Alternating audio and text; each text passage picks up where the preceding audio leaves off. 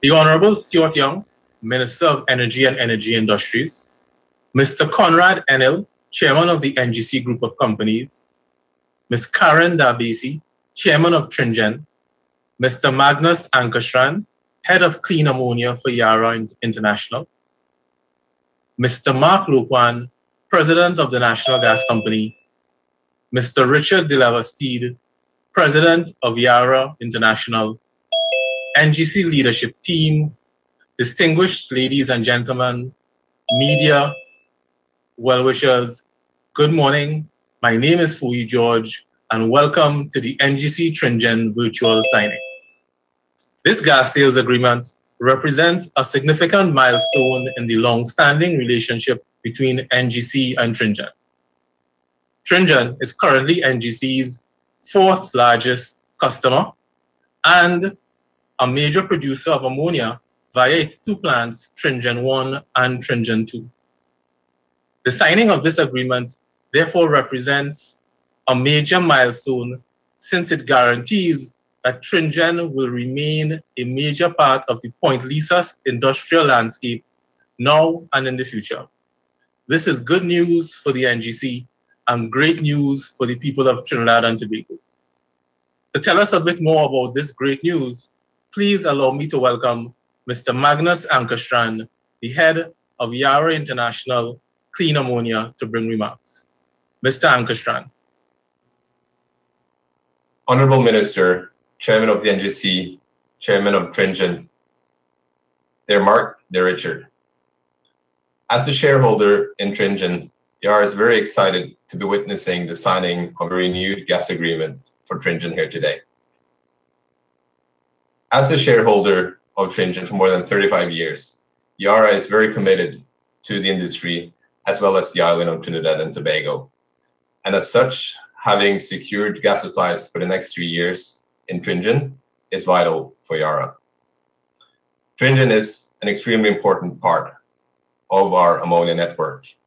And as the world's largest ammonia supplier and distributor, it is crucial for us to have predictability in our gas supplies from Trinidad.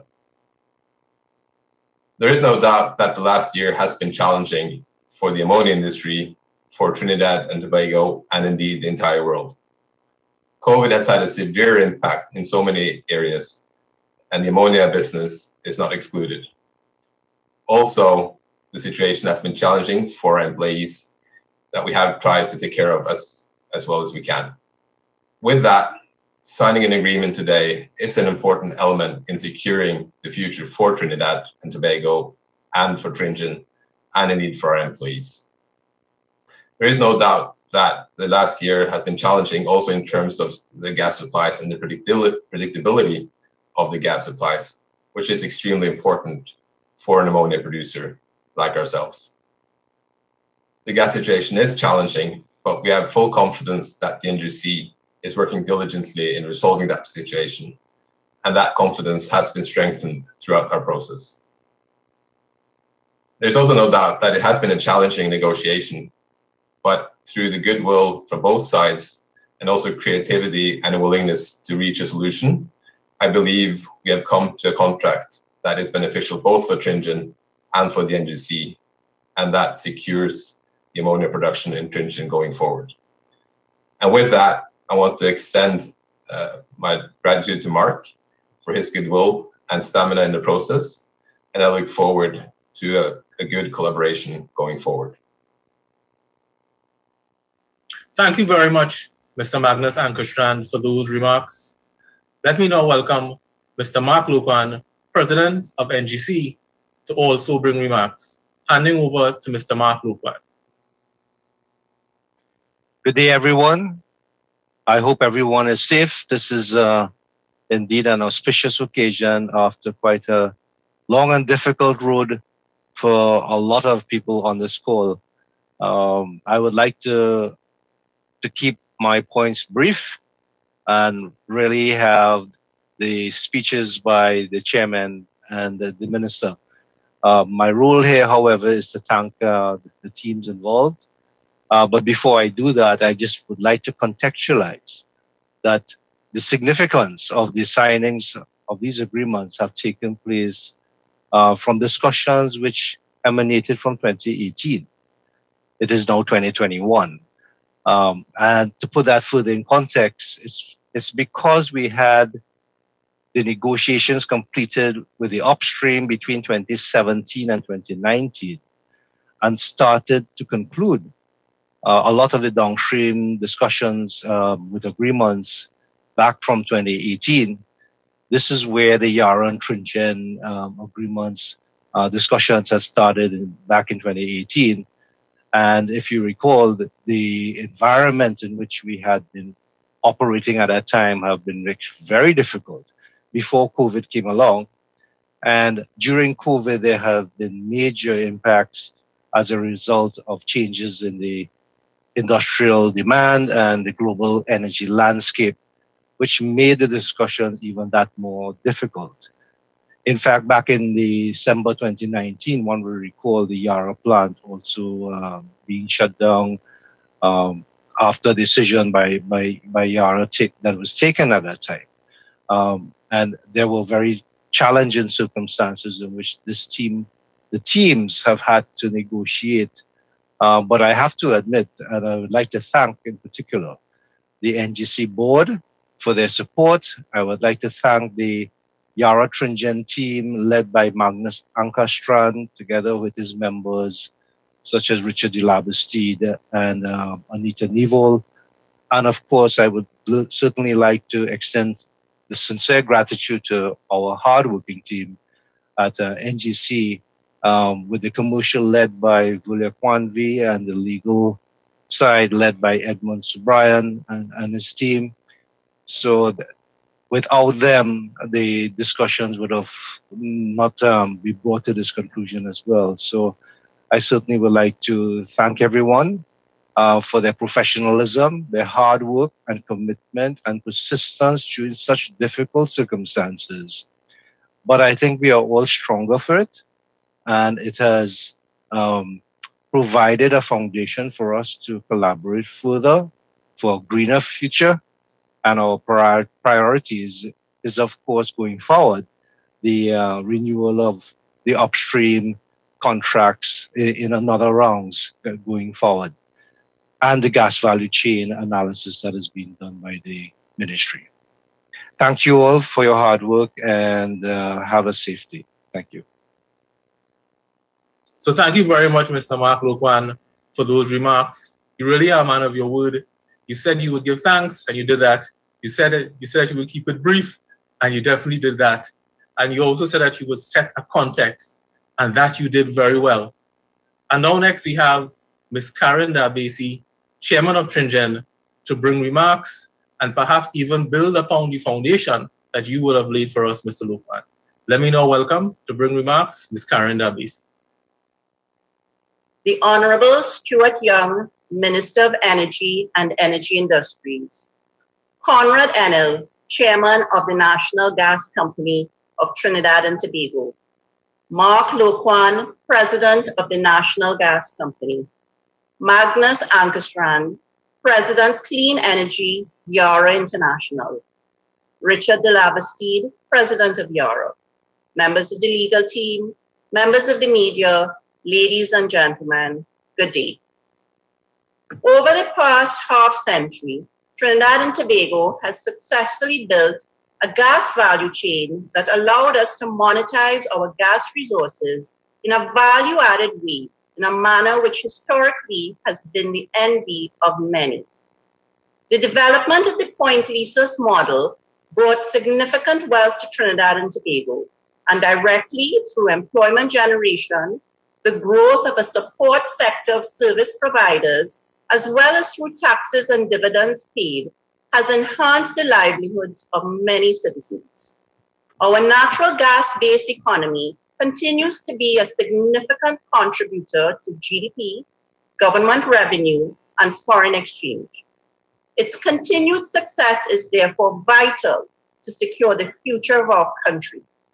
It is consequently incumbent on all stakeholders to come together to ensure that the appropriate mechanisms are in place to ensure the gas industry is robust, resilient, and sustainable for the immediate term, while we as a country navigate the energy transition to a lower carbon future.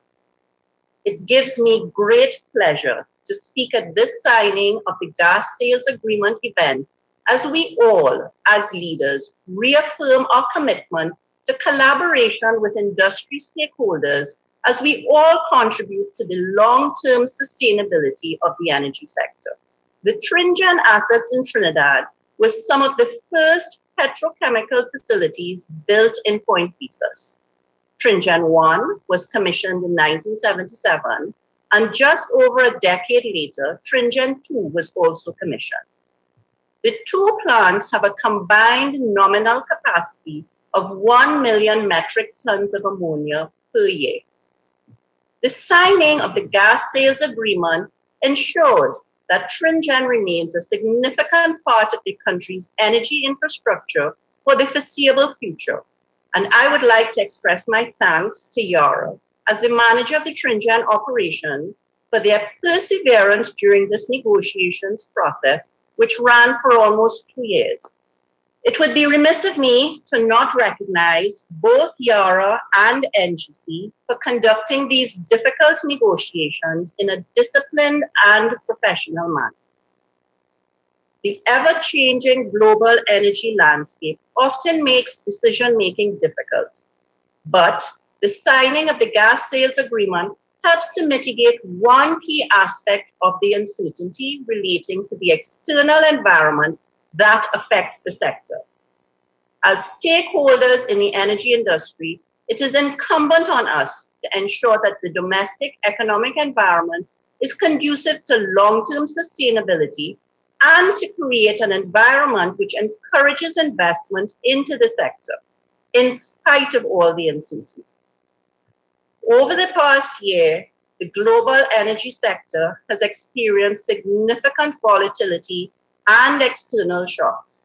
And what we have experienced can only be described as a perfect storm.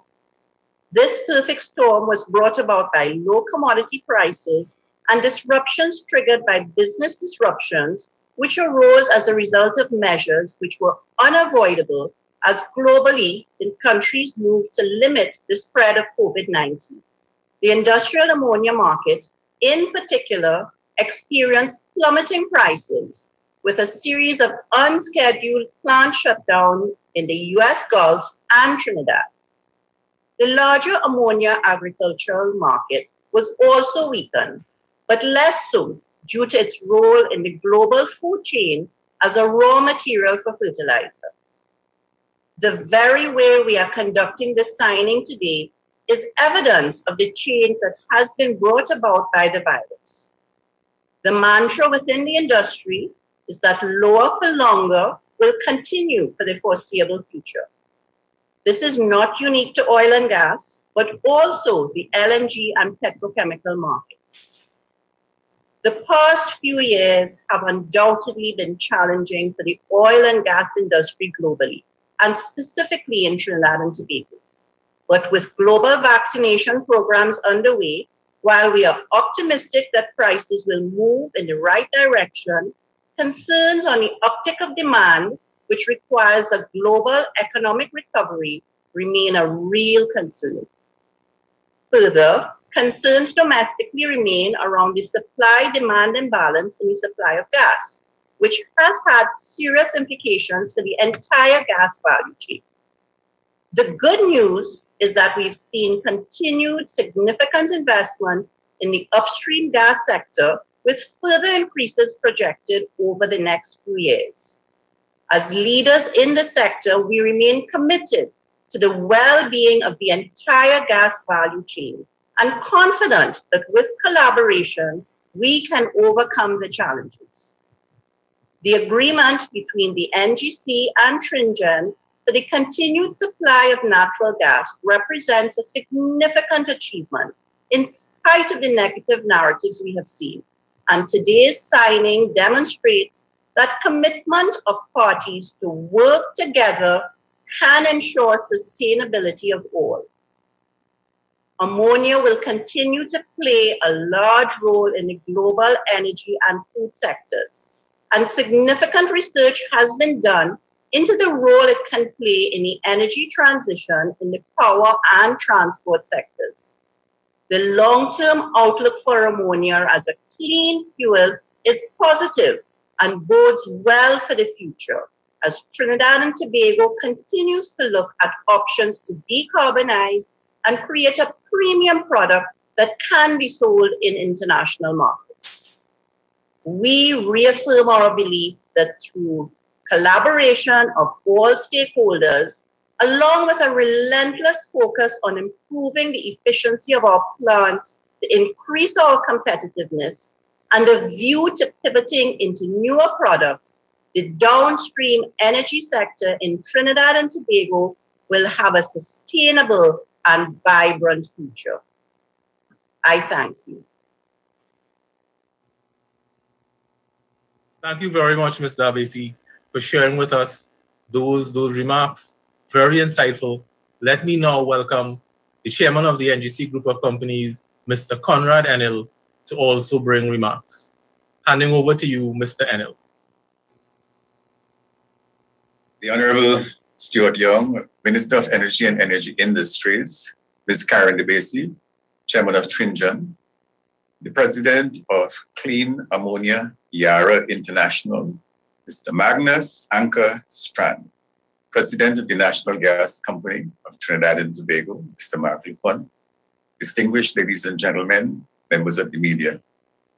I'm pleased to join with my colleagues from the Ministry of Energy and Energy Industries, and of course the Trinidad Nitrogen Company Limited, Tringen, to place on record our sincere thanks for the successful conclusion of a difficult and challenging journey we started two years ago.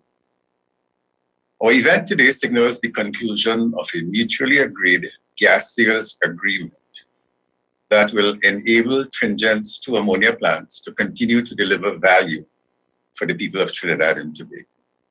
Tringen, together with our other downstream customers, continue to be instrumental in cementing our country's position among the top ammonia producers in the world. We are therefore proud to continue supporting the company's national contribution through this gas sales agreement. Despite the challenges that confronted us in 2020, we have reached an agreement. This allows us to both plan our business with a degree of certainty regarding the future.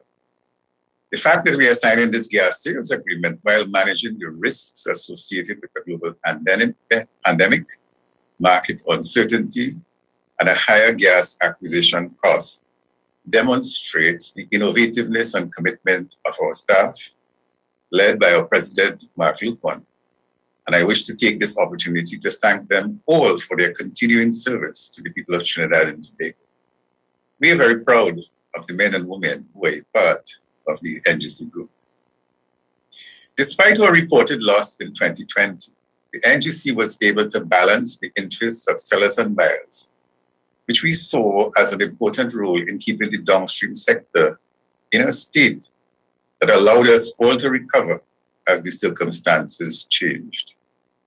This meant that in order to preserve the sector as an important pillar in the future growth of Trinidad and Tobago, we had to share in the pain of adjustment, something which we understood and to which we had responded.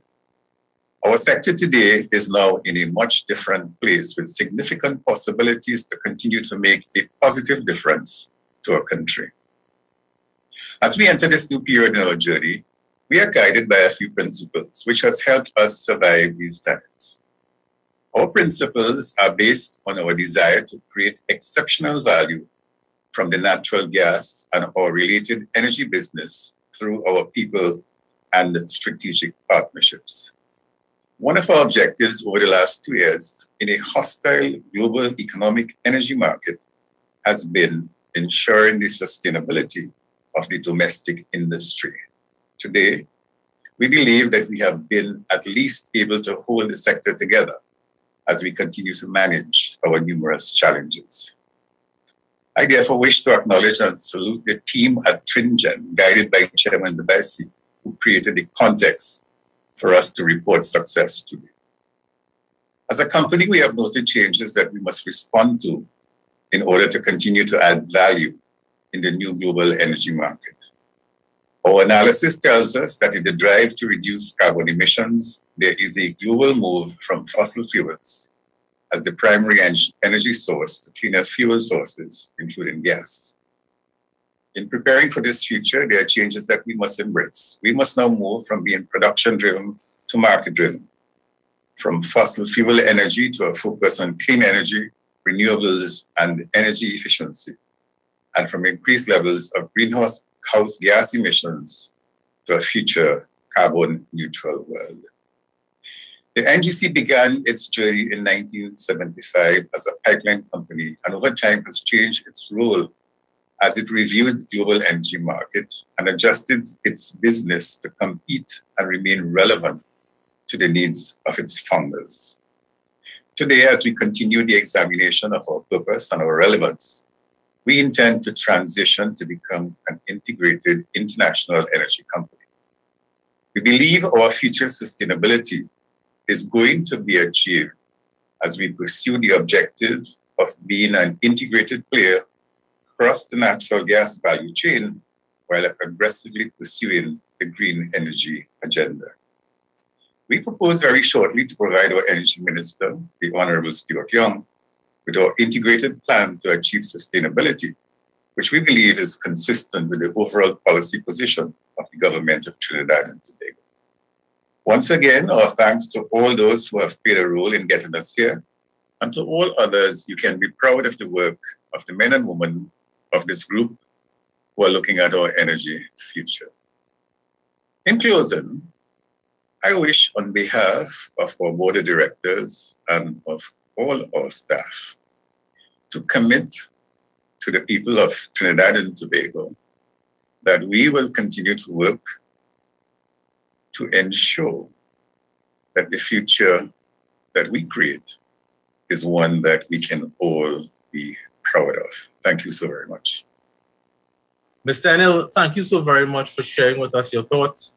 I would have had a chance as I listened to you to hear about the challenges over the last two years to get an agreement, to hear about the whole issue of sustainability, and of course, to hear about an integrated energy model which is very good news, not just for us, but for the people of Trinidad and Tobago.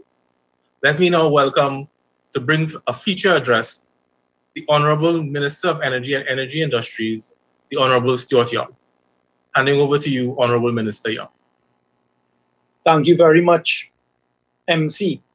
I'd like to start by welcoming this morning Sir Conrad Enill, the chairman of NGC, Ms. Karen Darbasie, the chairman of Tringen, Mr. Magnus Ankarstrand, all the way from Europe, the president of Clean Ammonia, Yara International, Mr. Mark Loquan, the president of NGC, Mr. Richard de Labastide, the president of Yara Trinidad, and to all the members of the media and anyone who may be following us here this morning on this momentous occasion.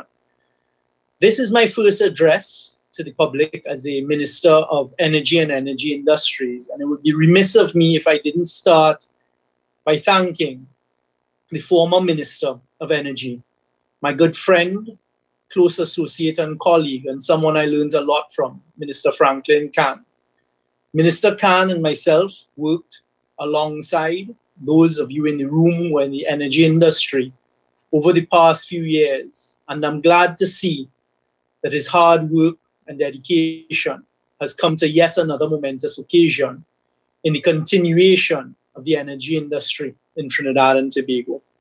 I'd like to thank all of you all, especially Yara Trinidad and Yara International, for working with us over the last few decades and recently through very difficult times, for showing your commitment to continuation of Trinidad and Tobago being one of your assets in the global portfolio for Yara. To thank Mr. Darbasie and her team at Tringen for the work that they have done, and for Ms. Darbasie coming in to the chairmanship with a bit of a push, and for guiding Tringen through some very difficult conversations and difficult times in the past few years. To Chairman Conrad Enill, no stranger to the energy industry and playing this role that we really appreciate as the chairman of the NGC and the NGC group and guiding the board of NGC as we go through very difficult and turbulent times in the energy sector. To Mark Lo and his team, who I've worked very closely with over the last five years, and in particular now in my new role as Minister of Energy, who I look forward to working on a more hands on, day by day relationship as we continue to use NGC to guide the energy sector, the gas sector in Trinidad and Tobago to derive maximum benefit for our shareholders, the people and the citizens of Trinidad and Tobago. I don't think it is often understood as I reflected this morning and coming out of another meeting a short while ago. We very often use cliche terms when reporting what is going on in our energy sector here in Trinidad and Tobago. I'd just like to briefly put certain things into context. Very often we talk about being part of the global energy commodity sector. And very often I think when I read certain views in the newspapers and elsewhere, we in Trinidad and Tobago don't really appreciate what we mean by being part of the global sector. Let's use ammonia as an example. And Mark and Conrad would bear me out on this one. Not too long ago, in fact, Magnus, you would recall, I would say in the last 24 months to 36 months, we faced global commodity prices for ammonia hovering around the 200 mark. It dipped below the 200 mark, was hovering around the 250 mark. Today, and for the last month or so, a little more than that, ammonia prices globally have been around 500 US dollars. This is significant and it brings into context the cyclical nature of the commodity. Trinidad and Tobago is a maturing gas province. And this is something we, the government of Trinidad and Tobago, are very conscious of. And that is why today is such an important occasion. And that is why it was important for me to use this opportunity as a citizen of Trinidad and Tobago to thank all of you for your continuing efforts to continue keeping the gas industry alive and continue to have us as a global player in a very changing globe in gas and the byproducts of gas, including ammonia. Magnus, you all would have faced globally the last year, as the rest of us did, in a global pandemic, and seen certain movements with your ammonia products that you would not have predicted because no one predicted COVID 19 and the effects it would have, in particular, on your sector. So that is why it's important for us to thank you and to thank Yara for your continued relationship as your partner now as a major shareholder, 49%, in Tringen, along with NEL on behalf of the people of Trinidad and Tobago. And as NGC has found a way with you all through very, very innovative and creative means. I remember when Mark and his team presented to me a short while ago on some of the thoughts as to how we could solve and get into a long, longer term gas sales contract with Tringen. I asked, well, where did this come from? And the word I used was innovative. This is what will keep us moving. This is what will keep us going as an industry in Trinidad and Tobago, being solution driven and solution oriented. And that is what today is about. What you all have managed to do with our gas supply contract until 2023, and we is really remarkable in the current times. And I give all of the persons in the industry the government's commitment that we are continuing to work full pace ahead to continue our gas industry in Trinidad and Tobago. I have directed in the last couple of weeks in a meeting with the NGC that we begin the negotiations with our upstreamers and we will be pushing to get as long-term contracts as we can to continue the future of the gas industry in Trinidad and Tobago. Whilst they're dwindling resources, there's a lot of hope on the horizon, a lot of very interesting projects, upstream projects that we are having conversations on, and I want to move it very quickly to what you talked about, Yara certainty. Because we understand that to continue investing tens of millions of US dollars in Trinidad and Tobago, what we need is certainty of supply of gas. And that is certainly the government's one of the pillars of government's focus in the coming months as we continue to have discussions with the major upstreamers in Trinidad and Tobago. Of course, there always is the promise of gas outside of Trinidad and Tobago in nearby territorial waters as the globe continues to change on a daily basis. What I ask you all in the industry to do is continue to operate safely as we continue to navigate this COVID 19 pandemic and continue to keep your operations going. Tringen, continue to look at the potential markets out there. And two things I'd like to end by saying. One, we are all conscious as we move into green energy and this concept of green energy. There will need to be decisions taken. There will need to be capital spent to keep Trinidad and Tobago current in the global market. And we have opportunities because our plants are already amortized and practically paid for whereas others getting into the industry now have to incur the expenses. Let us use whatever competitive advantages we have to take the industry forward. I'd also like it would be remiss of me not to touch on this point as I conclude. What you're seeing today, Trinidad and Tobago, is some difficult and hard conversations, strategic decisions by the NGC from since 2015 because one of the components of what we've been able to also do today, and we've been doing successfully since 2015 come forward, is dealing with the closing off of claims, potential claims against NGC, and successfully negotiating that, putting it behind us as we go forward into the future of Trinidad and Tobago. So I end by saying, well done. Well done to you all. I know how how these things go, the many late night calls that we have. The Mr. Enill and his board listening to Mark and his team at all hours of the day, sometimes having to wrong robin discussions and conversations at board level at hours of the night. This is what Trinidad and Tobago doesn't appreciate, the commitment that you all give. The same thing thing done by Mr. Darbasie and her team at Tringen by Mr. Delabastide, leading those for Yara in Trinidad and Tobago. Magnus, we look forward to welcoming you to Trinidad and Tobago as soon as we get over the current hurdles of travels globally. Because the next stage for Trinidad and Tobago that we'll be focusing on as a government is our downstream sector and making the trips to your boardrooms wherever you are and inviting you here for us to have productive conversations about the future in the next few decades of Trinidad and Tobago's energy sector. So well done, everyone. Congratulations. And you're seeing today the product of your hard work and your innovative schemes at getting it done to bring maximum value in difficult times to all of your various shareholders. But importantly, to the people of Trinidad and Tobago, as we've secured today the continuation of Tringen and its two plants in a global environment that is fraught with many difficulties and challenges keep up the solution oriented way.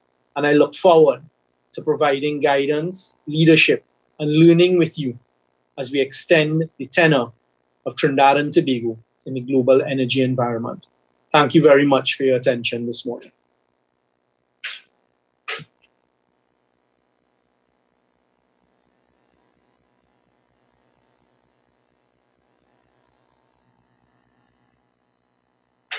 MC, over to you.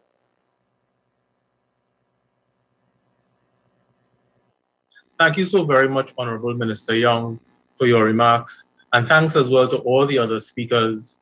The remarks shared this morning would have allowed us all to get a greater understanding and appreciation of this gas sales agreement. Now on to the Q&A segment, an opportunity for you, a member of the media, to ask a question or questions of one of our speakers this morning. To ensure that everyone gets an opportunity as well as to ensure that the session runs smoothly, we just want to kindly request that first and foremost, you raise your hand to indicate that you're interested in asking a question. Secondly, once you are called upon, you identify yourself by name and media house. And thirdly, that you keep your question as concise as possible to allow for everyone to have an opportunity. Thank you all so very much for your cooperation with us.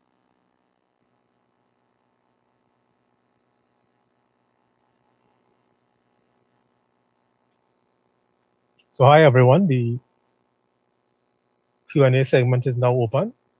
Kindly requesting that you just raise your hand and I will call upon you to ask your question. Looking for that first raised hand.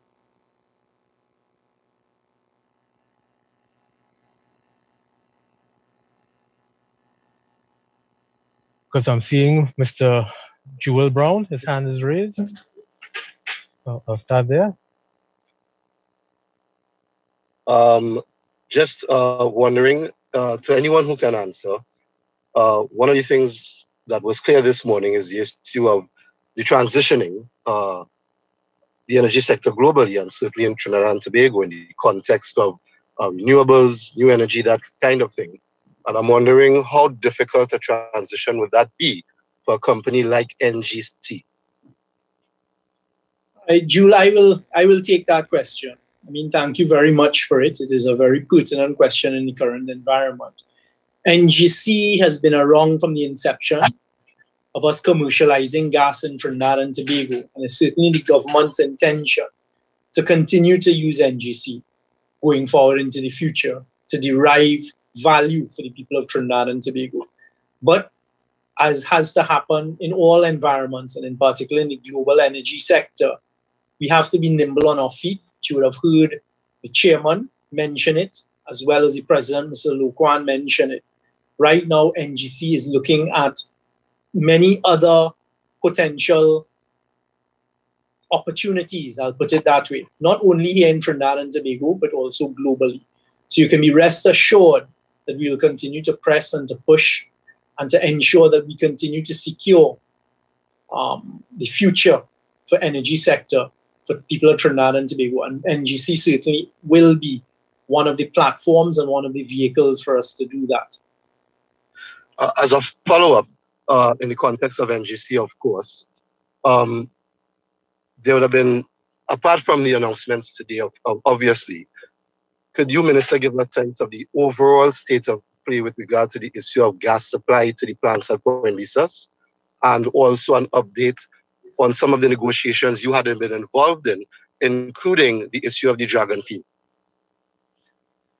All right. I think right now we are quite stable on the estate. I mean, as you all, all know, Trinidad and Tobago's gas supply goes two ways one to the LNG, Atlantic LNG, and then the rest through NGC to our petchem sector. And we have faced some difficulty, I would say, in the last nine to 12 months with uh, upstream supply that has been plateauing off. We continue at the ministry level to be driving conversations with our major upstreamers to secure supply going forward into the future.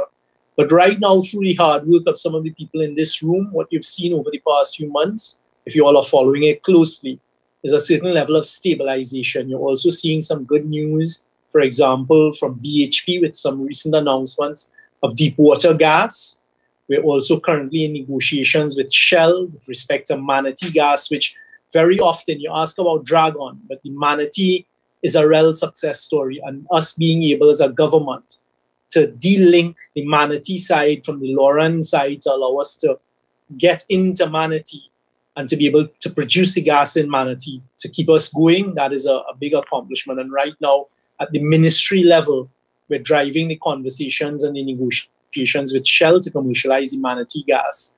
So I think things in the sector, certainly from where we sit as a government, are quite stable right now. We'll be working hard to keep it that way. With respect to the Dragon, nothing has changed. I was part of the team that had gone and negotiated. We had negotiated quite a good commercial term sheet, a very good commercial term sheet for the Dragon gas. But as we are aware, due to sanctions, right now that project is on hold, but it hasn't totally disappeared. And we continue to see what takes place up north in Washington for guidance as to how we could pursue that in the future. Uh, just one other thing, Minister. Um, as you said, uh, the Manatee Field, uh, any sense of how soon uh, production could start from that field? Are you talking about months, a year, more than a year? The Manatee Field is going to be the sig- largest significant investment in upstream production in the past few de- past few years. Let me put it that way. And right now, we're at a very sensitive stage of negotiations and discussions. So, as a Trinidadian, just wish us well. So, hopefully, soon we'll be able to come to market and make announcements, having been able to commercialize that. Can't say much more than that at this stage. Thank you, Minister. Take care. Thank, thank you very much, Mr. Brown, for your questions. And thanks, thanks as well, Honorable Minister, for your responses. Let me now call upon Mr. Curtis Williams. Your hand is up, sir. Uh, yes, Curtis Williams. Are you hearing me? Yes, Loud we are. Yeah, Curtis Williams, Guardian Media. Um, the I have a couple questions. First one to Mark, uh, Mr. Mark Loquan. Can you give us specifically what has been the DCQs on average for 2021 that you've been able to provide uh, to the downstream um, com- petrochemical companies. And secondly, the minister talked about um, some of the um, gas going to petrochemicals while others going to LNG. What is the state of Train 1? Is Train 1 going to be restarted or is the gas, and if that is restarted, what is going to be the impact on, on the DCQs um, going down the road? And the final question I have is from Mr um, Magnus, Mang, Magnus, I hope I have the, name correct. Um, the Yara plant that was shut down, do you expect that to be restarted at all? Um, and is there a possibility for perhaps green um, ammonia to make that um, restart viable, or if you're just going to um, sell us, get rid of the plant altogether? All right, let me start by first of all dealing with train one question right now the government is in some very sensitive negotiations and discussions with the shareholders of Atlantic as we look forward to the future of what Atlantic looks like. You would be aware that the whole global scheme, including LNG, is a, a very vibrant one and a, a changing one. So, for example, this morning, one of the first things I looked at is current Russian investments in, an, in, in the Arctic and the construction of further trains to deal with LNG. All of these types of things change the global LNG market. And so these are some of the things that we're looking at. Trinidad and Tobago continues to be very competitive in the LNG environment. And as I said, we are currently continuing discussions with, res- with the other shareholders with respect to the future of Atlantic. Work has been done at Train 1 but as we look forward at the future of Atlantic, one of the conversations obviously taking place is are we going to be a four train Atlantic going forward, or are we going to be a three train Atlantic going forward? Is there potential gas down the line that we may even add another train when that gas comes to market? So these are some of the types of conversations taking place, and at the appropriate time, we'll be able to say more. I'll leave the rest to Mark and to Magnus.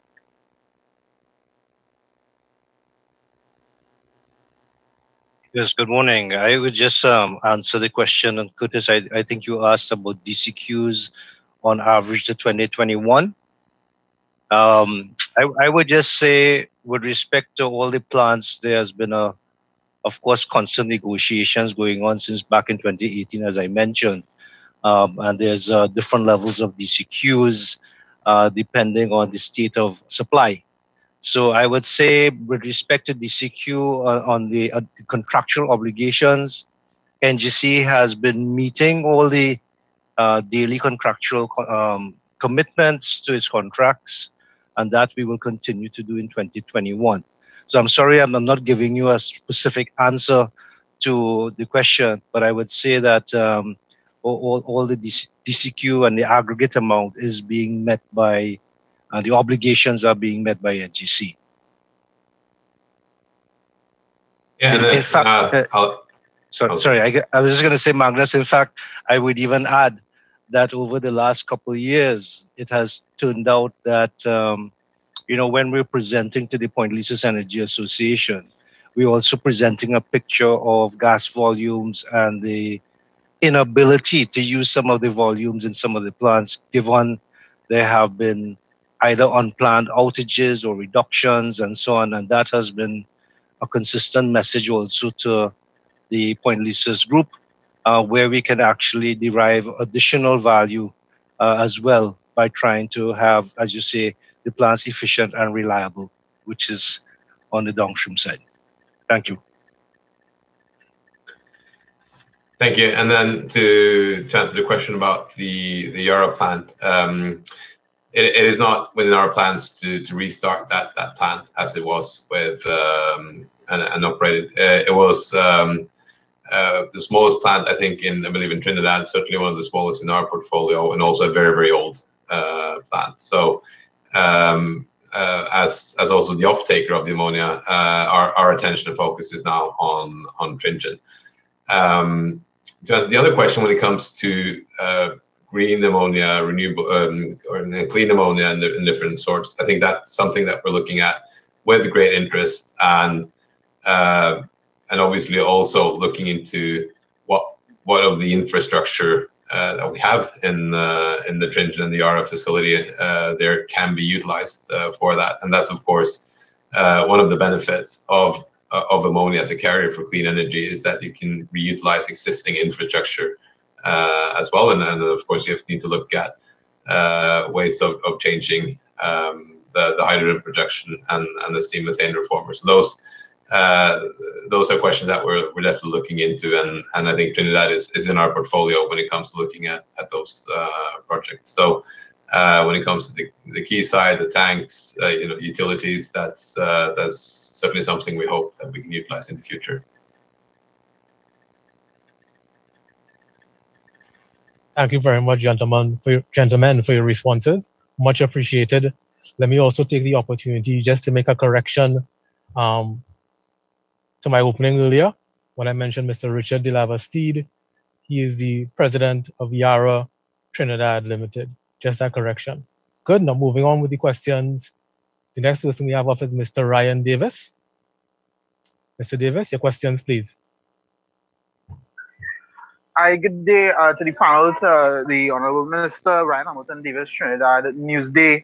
Um, uh, I wanted to I wanted to take a look. Uh, well, obviously, last year the the the the, the entire shock coming from uh, COVID nineteen, uh, it, it resulted in, in in a lot of problems for a lot of businesses, especially in the energy sector.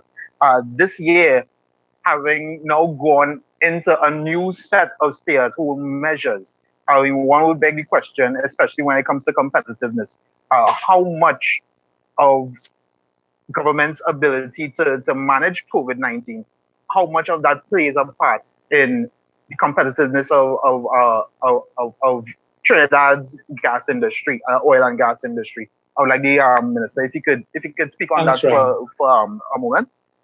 Thanks, Ryan. I mean, good question. Yeah. And it kind of ties back into what I was saying in my address a short while ago there are two aspects of that, right? One is the global side, because understand all of the output from all of these, whether it be LNG, ammonia, urea, methanol, etc.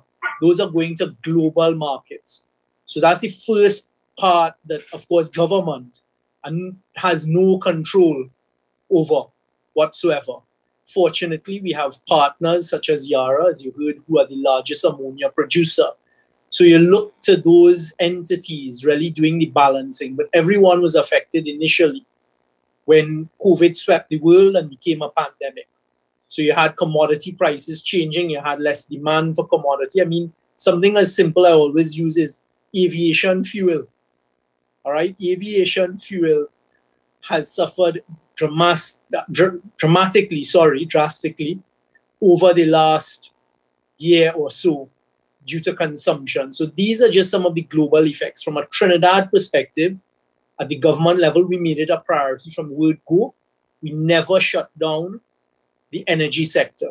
In fact, in my previous role as Minister of National Security is an area that I focused very heavily on you know, COVID management from the word go on the instructions of the Prime Minister. And I think we got it done quite successfully. Both Petchem which are all on land, as you're aware, they were always allowed to go to work and to get done what had to be done. From day one, I remember one of the first weekends in our COVID management, meeting now on the upstream, which is offshore, and meeting with all of the upstream CEOs and having conversations with them with respect to quarantine. Because of course we we managed our borders from day one and we didn't just allow free flow. So working with the upstreamers, the drill ships that were coming in, making sure persons were quarantined, insisting that they're quarantining their, their workers who are coming from abroad before coming to Trinidad, going through the testing. As soon as they land in Trinidad, facilitating them going across the tarmac, being in a, a holding bay, and then being flown offshore so they didn't interact with the population. And I am happy to say that at every level in our energy sector, from upstream to midstream to downstream, we kept it flowing. And that is because of the commitment of the government, but also the commitment of all of the players in the industry. So I don't think we ever broke stride, even recently, where we've been having some outbreaks on some of our offshore rigs, etc. Continue to work. So at my level, working with the various um, personnel of, of the BPs, the Shells, the Perencos, etc., to make sure that things keep going. And I don't think I, I don't think apart from maybe a couple hiccups over a number of days, literally a, a handful of days mark over the last year or so, was the gas supply at all affected because of COVID 19. So I think that's really an area that Trinidad and Tobago managed extremely well because we never let COVID affect the operational side. We have no no control over what happens with global commodity prices. Thank you very much. I just wanted Minister. to uh, just wanted to follow up on that. Um, no, actually, I just wanted to move on to another question. Um, I don't think I understood Mr. Ankarstrand's uh, response to, to, to, my colleague's uh, question about about Yara plants and so on. Is it that uh, the, the, the, the, the plants uh, in Point Fortin now they, that, that are not in operation? I'm, I'm not sure if it's clear that they're going to be shut down or if they're going to be repurposed or or, or what is it? Was what what was the plan for for these um for these um plants? Yeah, so so to revert to that, the uh, the old Yara plant is that was closed down um, two years ago, and that's uh, and that that remains closed, and uh, we have we have no plans to reopen uh, that plant. But what I, what I was referring to is that we do uh, look into uh, different opportunities for for for producing clean ammonia, which is of course you know at, at, its infancy and and still development projects, and and for that we may uh, at least in an initial stage, to use some of the infrastructure, uh, whether that's at the old Yara plant or or or Tringen for that matter. Those, those are early discussions still, but but a full uh, restart of, of the Yara plant uh, plant is is not in our plans.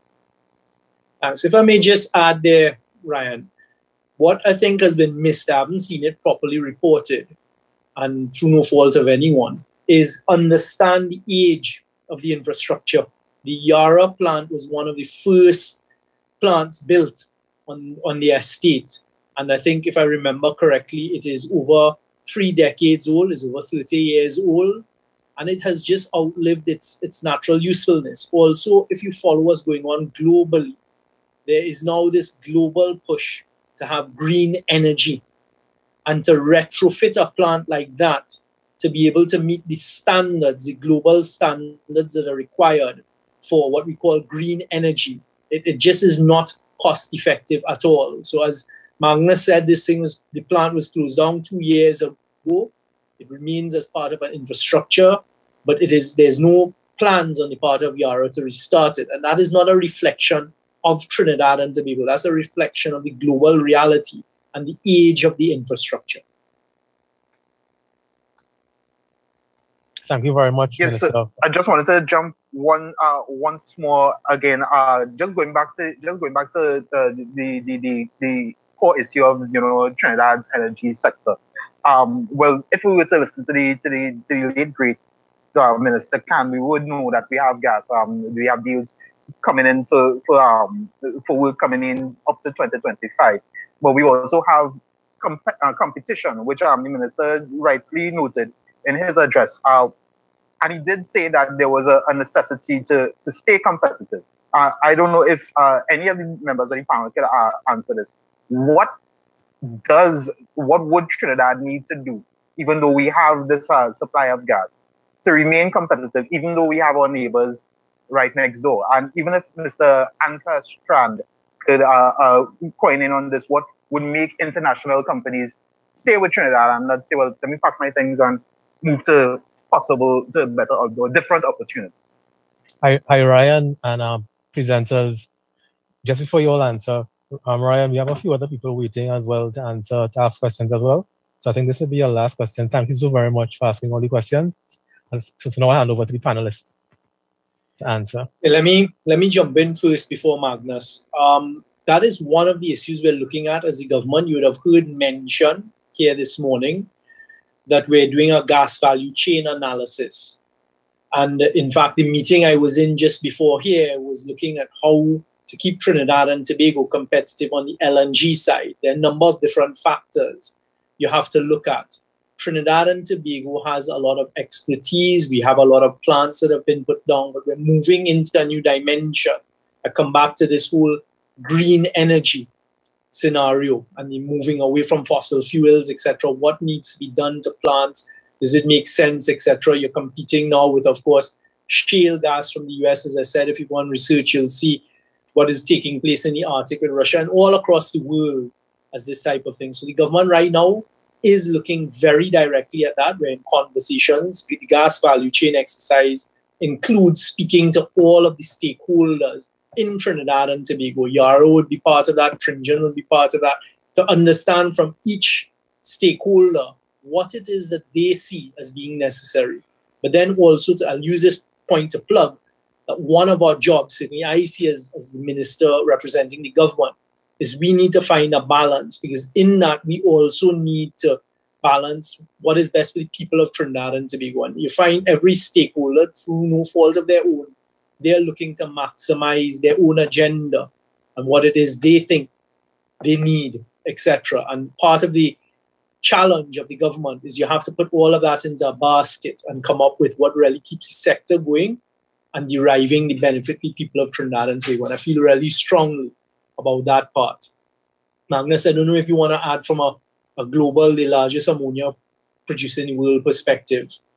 Yeah, no, uh, not not that much to add. I think you know what what is vital for us is, of course, that the gas supplies are stable. That's uh, that's essential. If you have a plant, you want to run it uh, 100%, and an ammonia plants are not particularly fond of being stopped and, and started again uh, because of uh, changes to the gas uh, gas supply. So that's I think that that that is the most probably significant part. And of course, competitiveness of pricing on the gas is is important too. But of course, gas prices goes go up and down uh, globally. Differentials go up and down, and ammonia prices go up and down as well. So I think you know to, to pick out one thing which is important in, in the long term, and, and the ammonia business is really a long term business. It's uh, security of supply.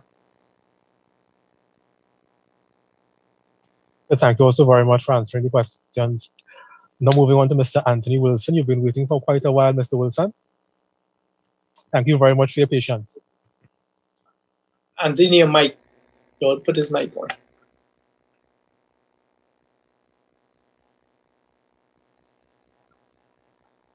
Yeah, can we just kindly unmute Mr. Yeah. Wilson? Yeah, Hi, ahead. hearing me? Hearing me now? Yes, we are. Loud and clear. Okay, so I have a couple of questions. If the first one is uh, to clarify the length of this contract, the term of the contract, because the minister referred to contract until 2023, uh, but there were there was another reference earlier to a three-year contract. So um, is it is it two years or is it three years? I'll, I will ask either Mark or, or Karen to answer that. But Anthony, what you have to realize is it could be a three-year contract with a retroactive portion. Eh? So I suspect that is what it is. So I suspect, and I'll allow them to answer, but it is a three-year contract ending in 2023. But understand these negotiations have been taking place. So there would have been a sort of covering or retroactive period. Mark? Well, I would certainly. Um, I think that's that's correct, uh, Minister. And um, the, the the bottom line is that we have said in the public domain that we don't have sight of gas beyond 2023. Correct. Uh, so and, and normally we don't comment on specific contracts, terms, and volumes, and and different things like that, or retroactivity. Um, but that is a fact that we've already stated uh, quite a few times. Thanks, okay, Mark. so the, the, the follow up question is uh, for NGC, are three year contracts the new norm, given what uh, the president uh, just said? All right, let me let me take that one for you, Mark, if I may. Um, Anthony, as as we've taken very careful care to see, what we're doing currently is we're trying. We've begun conversations with the upstreamers. So right now, as Mark pointed out, all the upstream contracts come to an end in 2023. It's our position as a government that we can't wait until 2023 to start negotiations, or even close to 2023 to start negotiations, because as you would have heard, Yara, Tringen, many others, everybody needs a line of sight of gas and some level of certainty. So one of the first things I did in the past few weeks upon assuming office is give notice to all of the upstreamers that the conversations for future gas need to start now. Part of that conversation is the length of gas supply contract. And of course, we would like to push for as far a contract as possible into the future to give us a longer line of sight. But that is still in infancy stages and depends on projects coming on board, etc. So right now it's premature to say that and to say that it will be three years. Certainly we don't want three-year term contracts going forward in the future, but we will have to deal with reality as we step forward. Yes, Mark, I, I guess I would add to that, Minister, that of course, technically there's some slight differences between the upstream contracts, but of course we sell gas based on a pool that that that, that of course combines contracts.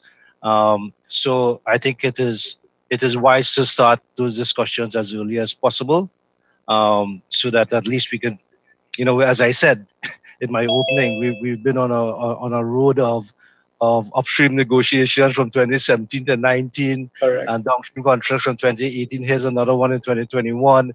So it's been a, a, a constant, um, um, I would say, activity level in, in the NGC to deal with. Um, but it's right. We need to renegotiate in that in that um, in that kind of way. And the answer is as long as we can get it, right? Because I think we, we, we, we recognize that for the downstream, obviously, they have investments in turnarounds and a turnaround cycle is, is you know, four years, uh, you know, approximately on average. So you, you really need to, at least for someone to make investments in turnarounds, depending on what year that investment falls in, uh, you need to extend it beyond that as, as best as you can. And that will be the aim. Thank you.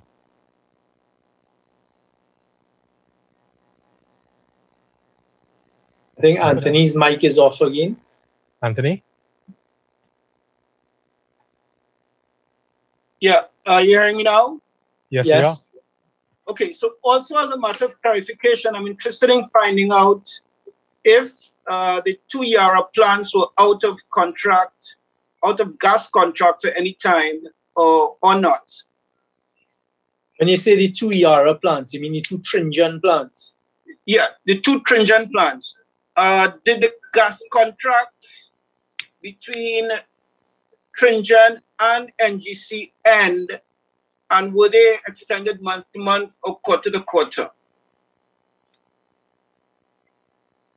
So I guess I guess I can take that. Um, there would have been interim agreements that would have been going on with the purpose of um, forging a long-term solution, so you don't end up in a situation where you're going on short-term periods, as you know, it's not an ideal situation to be in. Um, and of course, the market is quite volatile, and the, and the acquisition cost of gas is also dependent on some of these commodities, as you know. So the, the best thing for all parties is to have a, a longer term stability, which I think Magnus has also talked about. Thank you.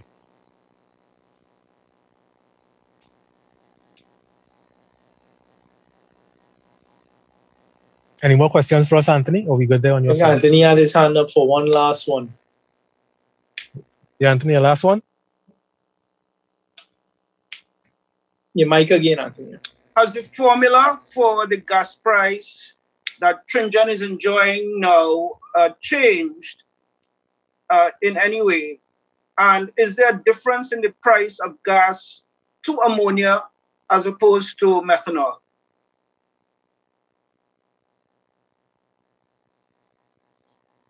But when you say it's changed, um, uh, Anthony, it has changed from from years ago. So the only thing that NGC would have been able to offer would have been based on the upstream contracts that were renegotiated in the last years.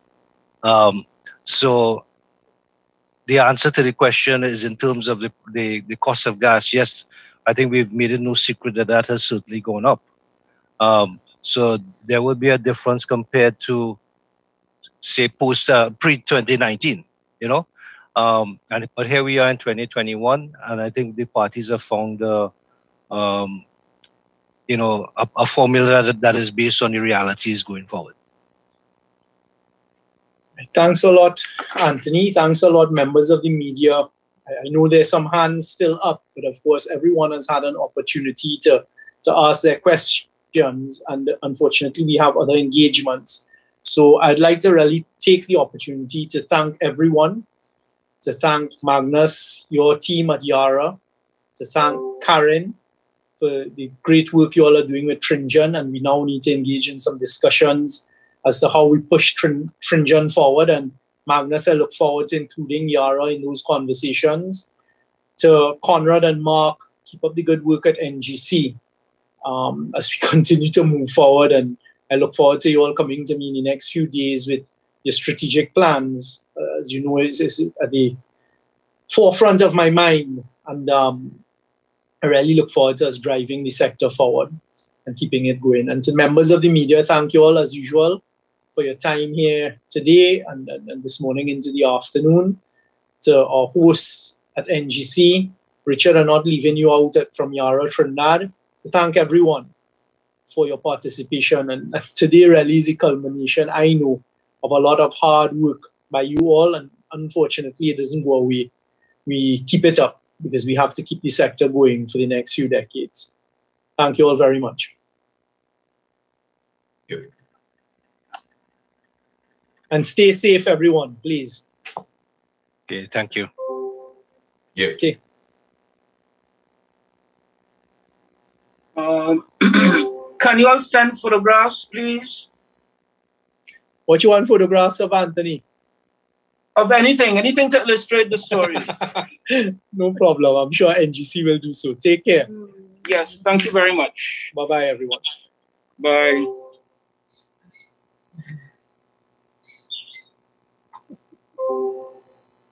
Um,